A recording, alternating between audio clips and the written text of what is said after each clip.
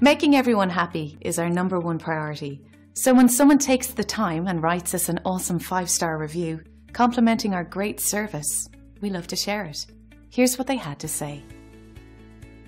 Our staff was really excited to hear about the great job we've done.